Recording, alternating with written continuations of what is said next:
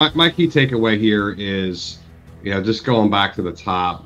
In the end of the day, all this needs to come together, and it's about correlation of more data in a more meaningful way. It's not about you know responding to tickets more quickly. We need to eliminate that level one desk, if you will, and get more to a high cyber IQ talent, right? And and get to folks really focusing on the level three and the threat hunt type activities and letting the automation do do its thing. And it's not about eliminating the tools that are out there. It's about bringing all that data together.